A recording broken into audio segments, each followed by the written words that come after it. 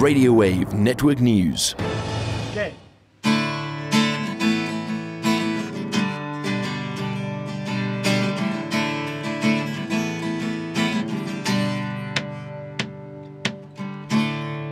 Please don't shut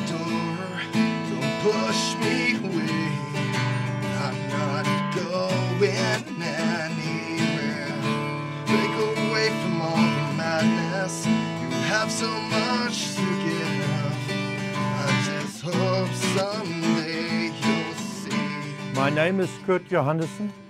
I am a member or trustee of the Wilco van Staden Trust. The Wilco van Staden Trust started when our grandchild, my grandchild, was born uh, eight years ago. He was born blind, and then a good friend donated a amount which started the trust.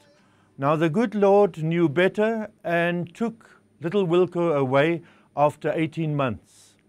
I think at that stage we were all blinded with the idea that he was just blind.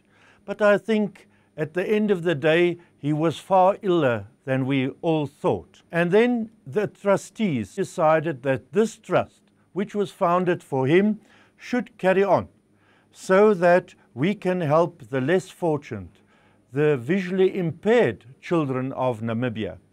I was involved with the visually impaired school for many years when I was at the Cancer Association because there are all our albino children. And at this stage, there are 22 albino children which are ill and later become blind. So, being involved with the visually impaired school, which is situated in Khomasdal, we decided this trust must carry on, and that is history. And then one year we asked Alfred, our, Brian, our friend, to be the guest speaker. And there this idea was born sound for sight. A person feels humble if you think we can all see what's going on. Even Alfred, when he's sitting here in his band room, he cannot see. And that is humbling for myself. And I think that's why everybody gladly participates in this massive fundraising. And it's wonderful that young people, musicians, singers, whoever, participate in this event to make it a roaring success.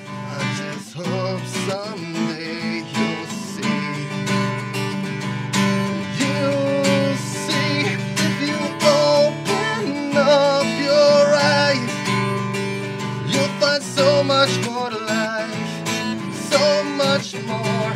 If you open up your eyes, if you open up your eyes, don't let it pass you by. Radio Wave Network News.